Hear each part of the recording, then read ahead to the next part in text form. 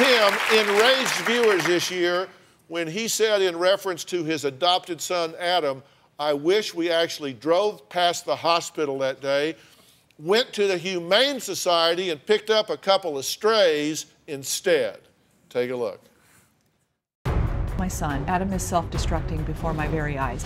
After Adam's drug taking, his violent behavior, and the DUIs, we said no more. You say he's an animal that belongs in a cage. Absolutely. I pulled a knife on my dad because I couldn't get their attention in any other way. I regret the day that we adopted Adam. Just six days ago, they had to bail him out of jail due to a felony arrest just so they could be here today.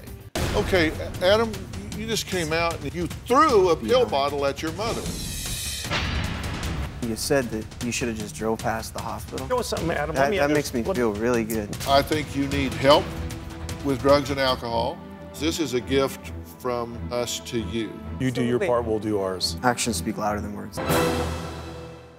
Well, Tim, Adam, and Karen are here, and boy, how things have changed for them. So, Tim, talk to me here. Wow. Well, Different, different world. I wish there was something else other than just thank you. I can say to really thank you, truly, that what you've created for us. And Well, got I him back. appreciate your willingness to come here.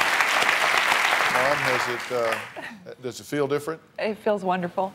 We have our son back. And Adam, they tell me that you have worked very hard and very sincerely in everything that you've been about down there. I just wanted to say thank you to you, Ben, and Origins. You guys saved my life. I'm glad to hear that. And Ben, congratulations to you. And again, thank you for all the work. that Thank you, do. Dr. Phil. Dr. Phil's 2000th show airs Tuesday, April 8th.